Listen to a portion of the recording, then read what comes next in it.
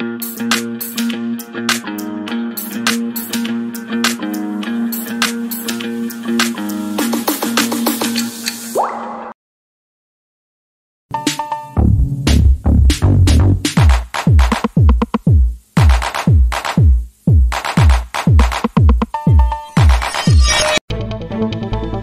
More news is still trickling in right here on the Buzz UG. Yes, and in case you haven't subscribed, I can't stop telling you to subscribe because I don't want you to miss on anything that is happening in the country, being in the current affairs, the entertainment industry, everything. I don't want you to miss on it. So what you have to do is subscribe in case you haven't, and also make sure that you tap on the bell for all the notifications.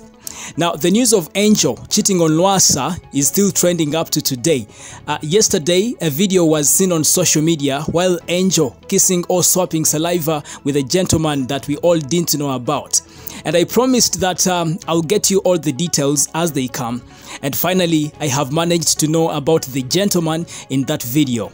And actually, this guy is called Kamulegea, and uh, I'm still finding out about his other name. Yes, but uh, the name that we all know right now is uh. I don't know what it means, but um, yeah, that is the name. This guy is Nguba Cheyo in the US according to reports. And uh, the surprising part of this story is that um, this Kamulegea guy just wedded someone's daughter last weekend. Can you imagine? Last weekend, not even two weeks in marriage, you're already cheating. oh my god, people are not really easy.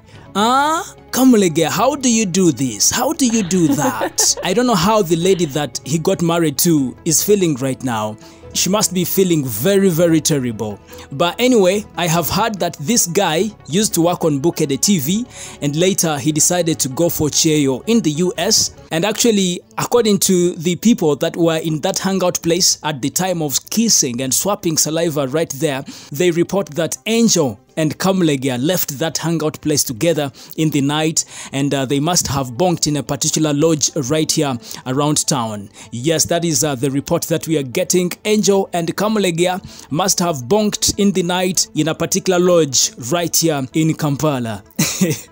yeah, so uh, we are still waiting for Lwasa's reaction about this story that is making rounds on social media and also in the mainstream media. But according to other sources, they say that Lwasa and Angel had checked a few months back and maybe, you know, we shouldn't blame Angel for swapping saliva with this gentleman since they had both moved on.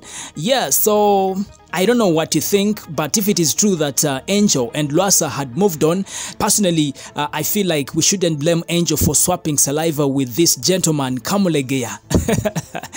ah, but, uh, you know, I'll keep you posted and I'll get you all the details as they come in right here on the Buzz UG. Uh, what you have to do is subscribe in case you haven't, and also make sure that you tap on the bell for all the notifications. Thank you.